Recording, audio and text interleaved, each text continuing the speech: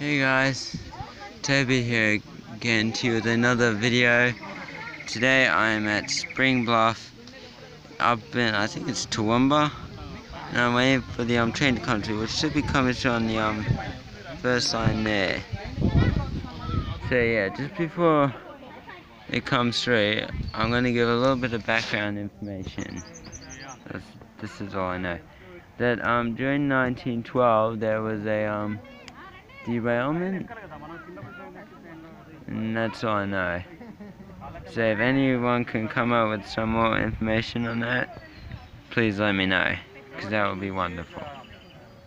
So um, I'm gonna pause the video, and then I'm gonna unpause it when the train comes by, so you guys aren't stuck there, or stuck doing whatever you're doing, just watching the video waiting. But while you're waiting, you can probably subscribe or like the video. That, but that's completely up to you.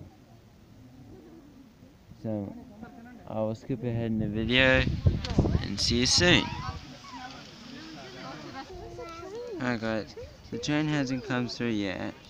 I've just moved positions. Here we go.